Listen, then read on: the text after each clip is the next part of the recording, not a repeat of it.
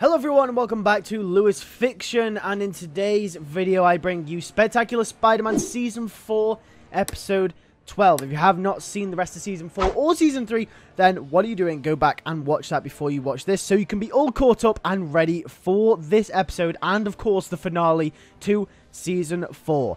But without the way, let's get straight into it. Episode 12 Life Choices Spider-Man swings across the city. Fires burn, but the chaos is no longer. How could he let such things happen? He perches on the side of a building. The fight is over, right? Or is it only just beginning? He thinks back to everything that has happened throughout his school year. Things don't add up. Captain Stacy was onto something earlier on in the year before his passing, but he can't quite figure it out yet. There is an internal struggle blinding his every move, but before he could focus on anything Peter Parker related, there are much bigger matters to be thinking about. Peter swoops down and saves a family from a burning building, and before Spider-Man can leave, he hears them distress. Where can they go? Where are they going to stay? They have a two and a four year old child. How are they going to keep them warm? Spider-Man thinks to himself, he can't just leave them there, especially as the guilt of this whole situation partially rides on himself. He says he knows a place that they can stay. We cut to the villains at Hammerhead's HQ. Mark Allan starts to become curious as to who the new big man is. Hammerhead says he's not allowed to tell anyone under any circumstances. Mark questions this, and Hammerhead becomes impatient, saying that the big man wants to remain anonymous, and anonymous he will remain. Hammerhead rallies all the villains and says that it's time. He states that they have enough firepower to take down Spider-Man, and their mission is to stop him. The big man has a feud with him, and the only way he can make it back onto the scene is with Spider-Man out of the picture. Hammerhead will tell everyone to scout and find him, and when someone does, to report back. As everyone leaves, we will follow Martin Li out of the building as he looks rather sorrowful. At this portion of the episode, we will flash back to Martin Li's past, exploring some of his backstory. As he walks home, we will get flashes of his life, his family, and how happy he was with his wife and his six year old daughter. During this flashback sequence, we will also see how Martin Li created Feast. We will see him take out a loan from none other than Norman Osborn, indicating that this was a few years ago. Osborn will lend Li the money he needs to create Feast. Through seeing how much he cares for his daughter and due to how much of a family man Martin is, we really understand his goodwill to open up Feast so he can help people. However, Martin struggles to repay Norman. The feast centers don't bring in much money, and Martin is in debt.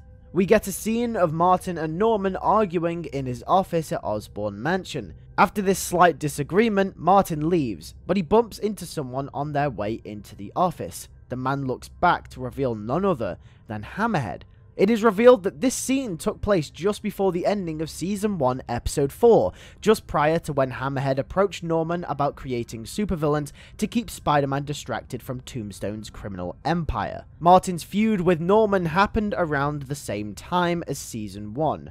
A few weeks go by and Li still can't pay off Norman, and one night, him and his family go missing. We go on to reveal that Martin was a part of one of Norman's questionable experiments, to begin before we get the likes of the Sandman or the Rhino. Norman tested on him to try and create a magic-like super being to take down Spider-Man in aid of Tombstone's criminal empire, as we mentioned before. Since Li couldn't repay the debt that he owed Norman, Norman decided to take matters of repayment into his own hands. However, the experiment goes wrong, Li burst out with anger, dispersing a massive amount of energy. His family, who were also in captivity, die in the process. Li grovels over the ones he lost, as Osborn evacuates. And instead of trying to hunt, fight, or even kill Norman Osborn, Li goes into hiding, afraid of what Norman could do to him next. Which is why we haven't seen Martin Li or Mr. Negative throughout seasons 2, 3, or 4 up until now. It wasn't until Norman Osborn had died at the end of Season 2 that Martin Li came out from hiding, taking back Feast and running it for the people who need it once again. However, underneath the kind man is a rageful, bitter, and darker side, his negative side, in which to make ends meet and to keep Feast on the ground, uses it to commit crimes and do Hammerhead's bidding, Li had met Hammerhead almost a year ago now, and Hammerhead recruited him back to be a part of the big man's revival into New York. Even though Li doesn't really know who he's working for, he has to, so he can make the money it takes to sustain Feast. Thus we end a crucial flashback sequence explaining and expanding upon Martin Li's character that has been hinted throughout the season so far. Li returns to his home and decides he wants to visit Feast to see how everyone is getting on. When he arrives, Spider-Man also arrives as well. Spider-Man escorts a family into the center, who have two children, one a two-year-old and one a four-year-old. Li thinks back to what Hammerhead said, and he knows that he must inform him and the other villains as to Spider-Man's whereabouts. But he thinks back to his daughter who he lost. He wouldn't want someone else's child to get caught up in this destruction chaos the same way his did. Li doesn't know what to do. Aunt May, who is running a shift at Feast during this time, approaches Li and sees he's quite stunned. Li asks how long Spider-Man has been here. May says that he's been bringing people in all day. May realizes Li is really out of it, almost like he's not listening. She asks him if he's okay, and Li says that he just needs a minute. He goes up to his office and lies down. He looks out of his blinds. He can see Spider-Man making sure everyone's okay. Hammerhead comes over his com, asking if he's found anything. Li gulps and doesn't respond. Hammerhead shouts his name, asking again. Li says no, very hesitantly. Hammerhead tells him to keep looking. Spider-Man leaves the building as Li takes a massive sigh of relief. We cut to the next day as we follow MJ at Midtown High. She notices Peter isn't there. She starts to worry. The last time that she saw him was just before the breakout at Rikers Island. He is nowhere to be seen. The register is called in class and Peter doesn't answer. His seat is also empty. The teacher looks quite concerned as well, as finals are just right around the corner too, so Peter should be attending class as a top priority. We follow MJ throughout the day and once again Peter is nowhere to be seen. She starts to worry even more. She calls Aunt May, asking if she's seen Peter. She says that she hasn't, She's been working overtime at Feast recently and hasn't had time to go home. She says that Spider-Man has been coming in and out all night with people looking for a place to stay, so she's had to work overtime. MJ eases slightly and says that hopefully she finds him and hopes he's okay. May, slightly worried as to her nephew's whereabouts, asks MJ to call her if she sees him. MJ agrees and puts down the phone, at ease, knowing that Peter is just doing Spider-Man stuff. Spider-Man swings through the city. As we cut to him, the sun sets for another day. Peter hasn't slept in over 24 hours, trying to clean up the mess that he made.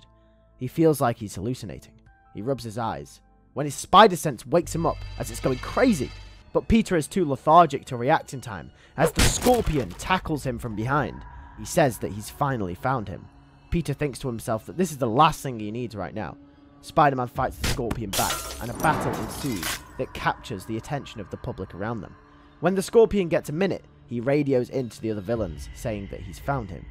Peter says, great, there's more of you guys? Scorpion smirks and carries on battling Spider-Man, as the others arrive one by one. A few moments pass before Spider-Man lies on the ground, injured in front of five villains before him. Scorpion, Sandman, Molten Man, Mr. Negative, and Shocker. Tired, hurt, down, even in the face of defeat. Spider-Man says, There's only five of you? You guys can't even get the memo right. And with that, Spider-Man's quips are halted as the sixth member of the team joins them, walking through the middle to meet Spider-Man's eyes. It's Captain Stacy. Spider-Man freaks out as his eyes widen. He can't believe it. Captain Stacy says it's time for his end. What life choices had led Peter Parker to this moment? And how will he get himself out of this mess? That is it for episode 12 of the Spectacular Spider-Man Season 4. If you are enjoying this series, make sure to leave a like on this video. Episode 13 is coming next week on Sunday, 7pm UK time. You ain't gonna want to miss it. It is also a 15 minute episode or around 15 minutes, so it's a long episode. It should be the longest of the entire series so far. There is a lot to draw out, there is a lot to cover, and you guys ain't gonna want to miss it. So with that being said, thank you guys for watching. Make sure you're subscribed, and I'll catch you guys all in the next video. Take care, and peace.